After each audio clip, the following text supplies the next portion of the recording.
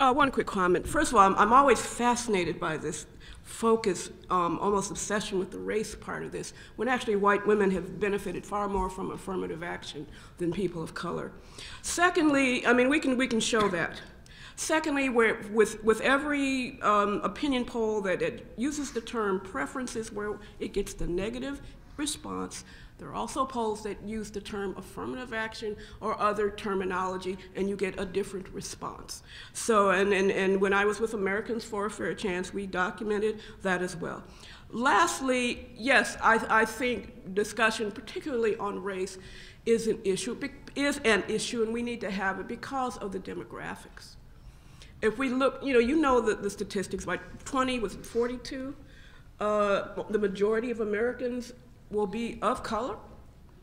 It's time to have that discussion.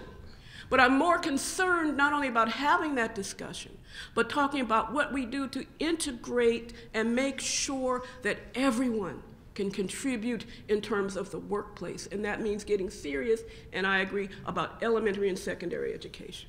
We really got, have to talk about those priorities because that's the majority of the future. And so we really need to have those discussions about race. We've got five more minutes. Next question. I have a two-parter. My name is Eric Jaffe. I'm an attorney here in D.C. Uh, I'll make them quick.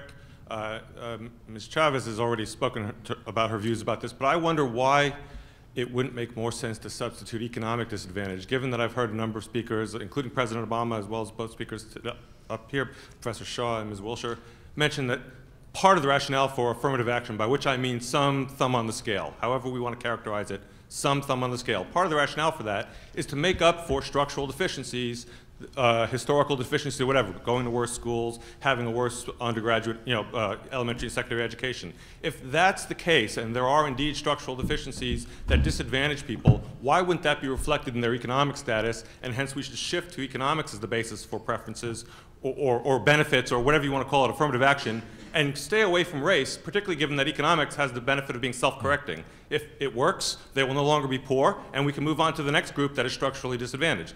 The second part of my question is, to the extent that the justification for affirmative action is diversity for its own sake, i.e. getting people having more diverse experience with folks of different races, which of course wouldn't necessarily be solved by the economic position, why doesn't that just collapse the available candidate pool of minorities into the upper level schools, taking law school as an example. If you disproportionately bring in candidates of, of minority backgrounds into the top schools, why doesn't that just div reduce diversity in the lower tier schools and hence harm uh, just as many people as it helps?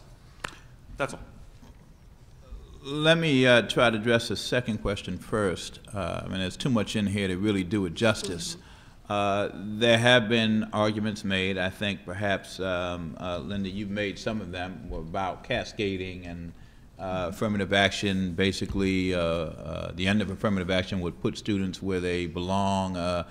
students who can't compete at the top schools, et cetera. We could have a long discussion about that. I, I obviously I don't agree. Um, uh, but uh, the short answer to your second question, I think, is that there are more than enough uh, students of color uh, to fill the schools that are not highly competitive, uh, uh, even with students uh, who have the benefit of race-conscious admissions at the selective institutions. I mean, I'm, I do not think that that it follows that um, there aren't students at the less competitive institutions. Now, there's a lot more that we could talk about in that discussion, but we just simply don't have time. Eh, but I'd be glad to do it sometime and figure out how to do it.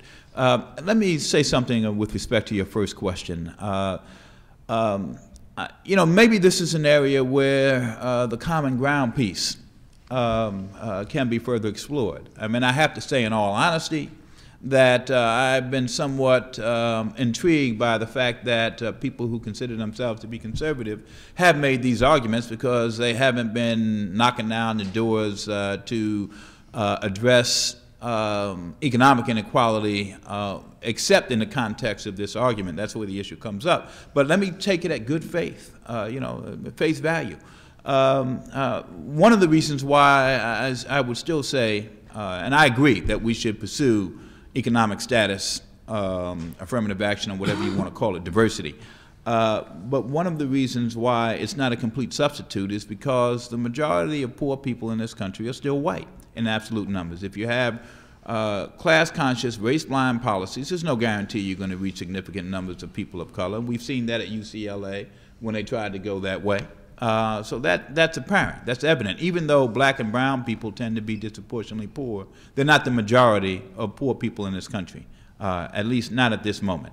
Uh, but I do support uh, class-conscious policies um, uh, and trying to do something about class inequality. Um, the, the, the piece of this that I just want to signal or flag very quickly, when you talk about an honest discussion, and it, it, it's raised in your uh, point about diversity, uh, diversity, of course, came from Bakke, uh, Powell's opinion. Uh, and Bakke for African Americans at the time was thought to be a loss. Uh, it was uh, the palatable substitute for um, a remedial action uh, that address the racial discrimination in this country. And nobody wants to talk about that honestly anymore. Um, so there are very complex issues given the way even the African American community has changed demographically that play out uh, in the way affirmative action is uh, implemented now. Uh, but the bottom line is, is that uh, it's a discussion that um, I would welcome having with you or the Federalist Society, and there's a, a lot more to say about it. I'm very sorry to have to cut you off. It's 5:15, and I've been told we have to leave at 5:15. So thank you very much, and let's give a hand to the panel. Good to see you, Peter.